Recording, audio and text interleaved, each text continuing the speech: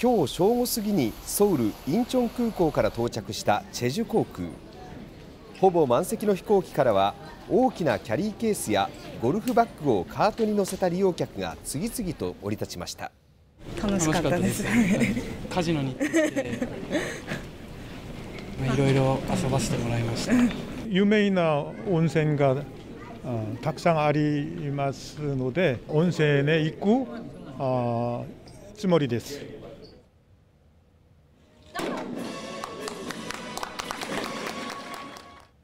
チェジュ航空は今年6月韓国路線の定期便として4年ぶりに就航。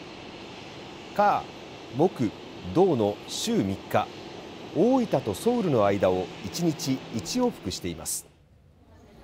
チェジュ航空によりますと就航から2ヶ月弱の平均搭乗率は75%をキープ。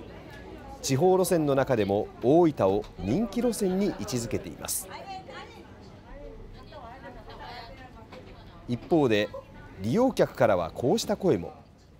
気軽に行けてまた機会があったら行きたいなって。いうもうちょい便数が増えてくれると嬉しいなって思います。好調な利用状況を受けてチェジュ航空は今後は追加増便も検討していて多くの人が韓国旅行を楽しめるよう努力していきたいとしています。